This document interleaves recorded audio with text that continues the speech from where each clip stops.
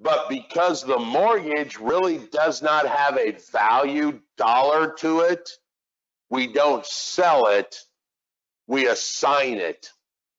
I sell you the IOU and then assign the mortgage. We've talked about an assignment before, remember? Have we? No, we haven't. An assignment is a contract, visual joke here, so watch. An assignment is the contract stays the same, but the people change. Your, your mortgage was with Fifth Third, it's now with PNC. They can't change the contract. It's still 5.33% for 30 years, pay on the first. But we've assigned it from one lender to another lender. That is called an assignment. Obviously, I forgot that is part of the contracts chapter that we're going to do on Monday. Cameron? So how does the the bank who originally owned the mortgage on the house make money selling it to a different lender? Like, where's the profit in that? Okay, so I showed you, let's go back over here, let me help. Let's do this. In that original thing, I told you, Cameron, I'm gonna loan you a hundred thousand Mhm. at five point three three percent interest. You are going to make me payments of five hundred and fifty-three dollars a month for thirty years. And when you get done paying me back after thirty years, you are going to make, I am going to make two hundred thousand dollars, hmm right? Are you with me so far? Yeah. So now let me ask a question. Sarah, would you buy a two hundred thousand dollar note if I sold it to you for hundred and fifty thousand dollars? Say yes, that makes this example go really good. Yes. Yes. So she just gave me hundred and fifty thousand dollars. I got a hundred grand from Jed Clampett. So I turn around and give Clampett back his money and I made money on that deal.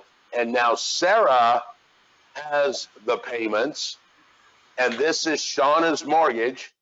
So Shauna now starts making her payments to the Bank of Sarah instead of the Bank of Raymond because I sold Sarah the note and I assigned the mortgage that. So it really only makes sense if the bank had owned that proper, well, that, that mortgage for a period of time to make the interest off them and then sell it again to make the profit from Sarah, right? Most lenders will hold a, a note a year or two to make some interest, but hmm. they really need their money back. All right, I borrowed Clampett's money. You were, now we're actually into chapter 13. I borrowed Clampett's money, a billion dollars, as a bank. I've now loaned it out to Sarah and Christina and Gunjan and Shauna and Cameron and Jaman and Aaron and Ross. I'm out of money. I've loaned it all out. How do I get it back? Simple. I take all of your notes that you have signed to me and I put them in a pool and I sell that asset to some other investor who then gives me back $1.2 billion. I turn around and give Clampett back his billion dollars plus the interest he wanted, and I made some money. And then I borrow the billion back from Clampett again, and I go back out and I do it again. Now I loan money to Sarah's sister, Christina's sister, Lashana's sister, your sister. Take all of those, package them up into a pool, sell them again, and I get the money back. I turn around, give Clampett his billion dollars, keep the difference, and then I do it again. That's called financial services. That's hmm. what these banks do. That's how they make their money. It is not their money they're loaning out. the Teachers Credit Union of Texas promised the banking system $10 billion over the next five years because they get, they're a union and everybody pays their union dues every day. All right. So that's where I might hold that loan and collect, collect your first payment, second payment or whatever. But eventually I want to get back into the game and Clampett's out of money. So I sell them and we call that the secondary market. Fannie Mae, Freddie Mae, Freddie Mac, sorry. Brian May is a guitar player for Queen, never mind. Um, that's how that process goes. That is tomorrow when we talk about the primary market and the secondary market. But for now, understand that I'm selling the note to you, but I'm assigning the mortgage so that the mortgage can go with the note. And like I said, I'm out of my visual aids. I actually have a note and a mortgage that I put together so that you both, so that the new investor now has both of them. They have the IOU and they have the collateral that goes with it. Okay. Now, further on page 216, how many in here are the older brother or sister? How many are the younger brother or sister? All right, the what? Sarah raised her hand twice. You're in the middle? Oh, you've got an older brother. Okay, I get it. Confused me. If you're the oldest, you have done this to your brothers and sisters before. If you're the youngest, they did it to you. All right. I still do this to my brother all the time. 51 years old, still falls for it. You ever had something in your hand and say, you know, if you give me that, I'll give you this. And then when they give it to you, they take both and run away. Yeah, that's happened to you if you're the youngest. If you're the oldest, like I said, my brother still falls for it. He's 51. I'm like, hey, give me that. Ah, there is a clause in the mortgage that says a bank cannot do that. They cannot keep a lien on your property and take all of your money as repayment and keep them both. It is called the defeasance clause. When you make your payments to the bank, they have to, under federal law, give you that release of the lien. They cannot keep the lien on your property and keep your money both. They must send you a release or the reconveyance deed if you're working in that other title theory platform.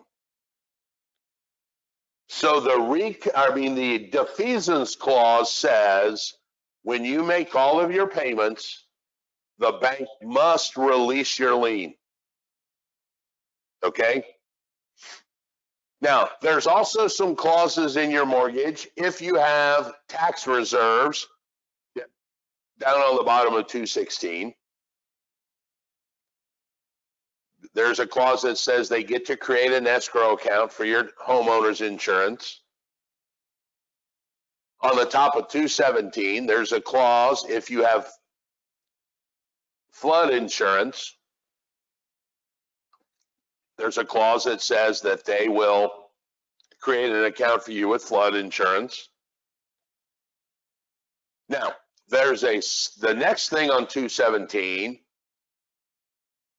I can buy your house subject to the loan that you have in place.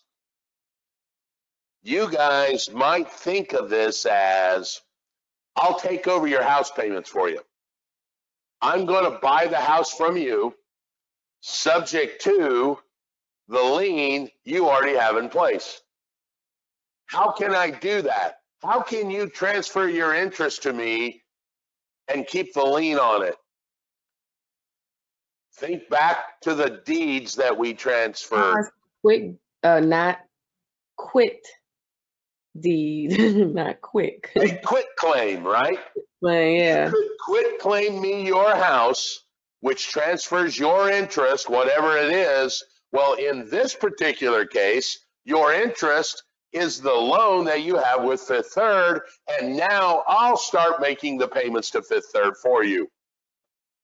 That is called buying subject to the loan that's in place.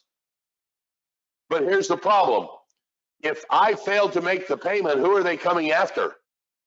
You still.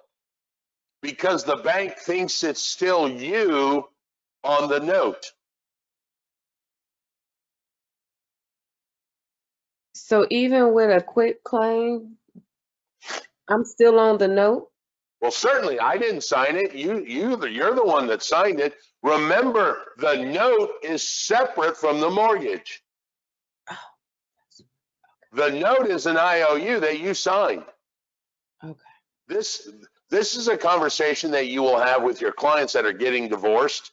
One of them will say, well, I want to quit claim my interest to my spouse so I can get off the, the note and the mortgage. No, it doesn't.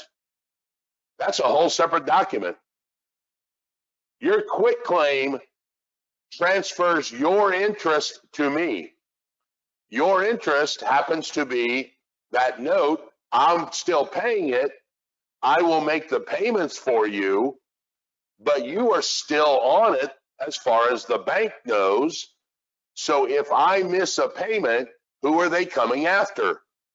You, because the bank still sees you on the note. I That's bought it. Go ahead. I was gonna say, so it's kind of like a rental property where it's under your name, but if like the tenant misses a payment, it still goes on you type deal. When we get to the lease section, it is very similar to that, yes. You can sublet a property, which is very similar to this, where the tenant gets another tenant, and if tenant two makes, fails to make a payment, the landlord goes after tenant one.